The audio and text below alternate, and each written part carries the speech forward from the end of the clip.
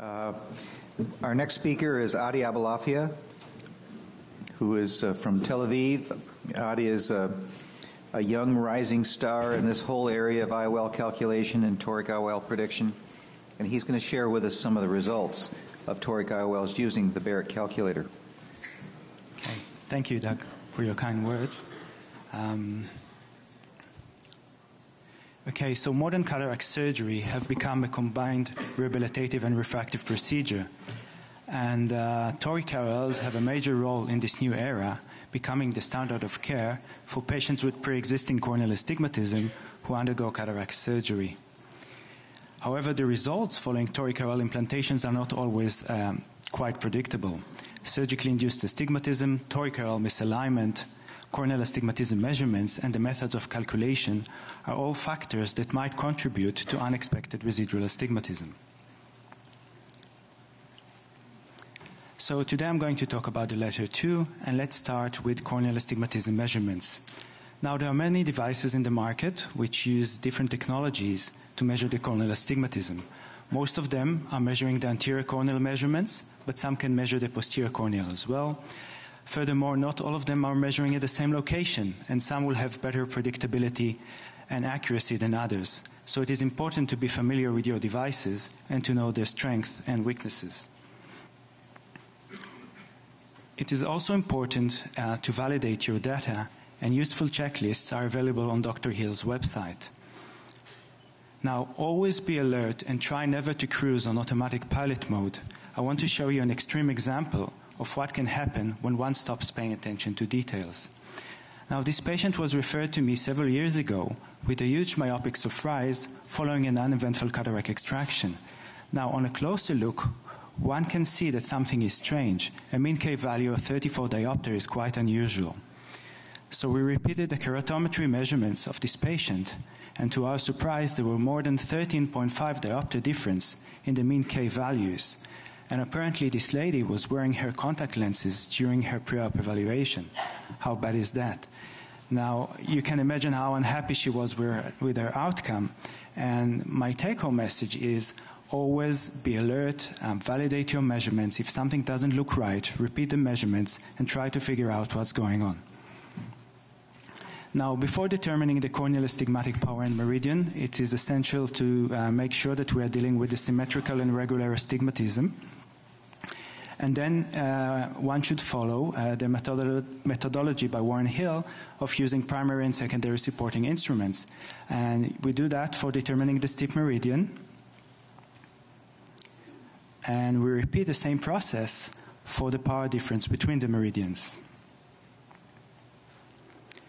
Now, uh, for our primary device, we would like to use the most uh, accurate machine available. But as we all know, uh, good repeatability is essential for high accuracy.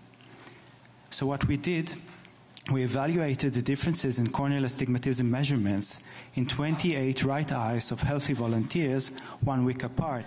And we did that by using the IOLMaster 500 and the Lenstar devices for the same eyes. And in a perfect world, all these dots should be plotted against the zero mark. But as you can see, this is not the case for both devices.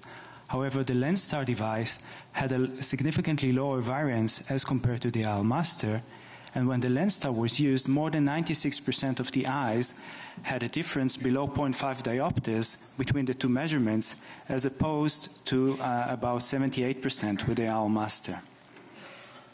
So what about accuracy? When, when we evaluated the errors in predicted residual astigmatism, uh, following toric IOL implantation, the Lenstar had a significant lower centroid prediction error and variance as compared to the IOLMaster. So let's move now for the methods of calculation.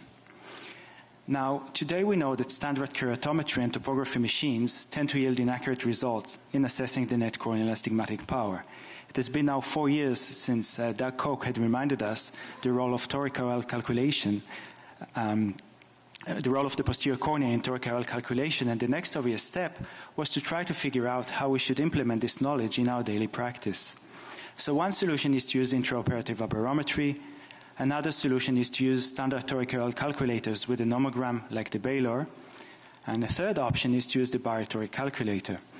Now, as you heard, uh, this calculator is available on the ASCRS and the APACRS website, as well as on the Lenstar device.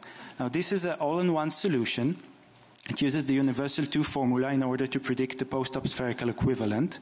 It uses the effective lens position in order to calculate the IOL cylinder power correction at the corneal plane, and it uses a mathematical model in order to estimate the net corneal astigmatism by utilizing anterior corneal measurements. So um, this is one of our recent studies um, in which we evaluated the prediction of refraction outcomes with toric IOL implantation by using different uh, devices and different methods of calculation, including the Barrett toric calculator.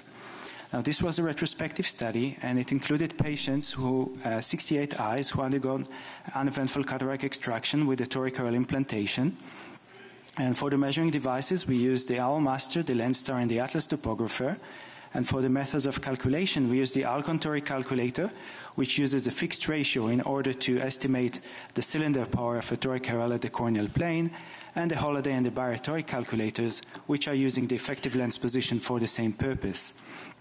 Now, and what we found out is the combination of the Lenstar and the Barrett toric calculator yielded the highest proportion of eyes with a prediction error below or equal to 0.5, 0.75, and 1 diopter. Now, when we used the Alcon toric calculator, both devices, the IOL Master and the Lenstar, yielded against the rule prediction errors with a centroid of more than 0.5 diopter. Similar results were seen for the Holladay toric calculator. However, using the Barrett toric calculator yielded centroid prediction errors which were close to zero. Now, what about using standard toric calculators with direct measurements of the posterior cornea? Now, theoretically, this should be the most accurate method in assessing the net corneal astigmatism. However, our personal experience with the Pentacam device was somewhat disappointing. Uh, in a different study with a similar design, we evaluated the accuracy of direct measurements of the posterior corneal curvature. And we did that by uh, calculating the errors in predicted residual astigmatism in 99 eyes using the IOL Master and the Pentacam device. Now, when we use the IOL Master measurements, with a Holladay toric calculator, uh, we saw uh, against the rule prediction errors with a centroid of more than 0.5 diopters, same as we saw in the previous study.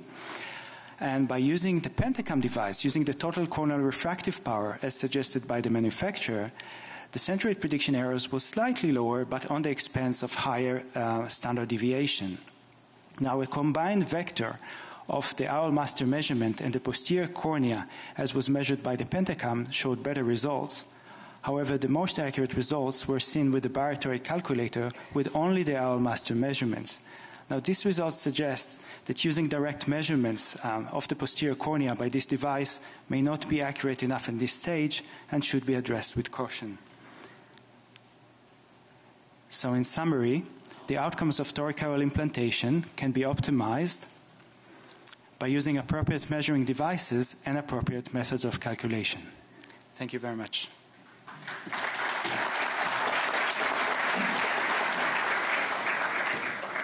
Thank you, Adi. Uh,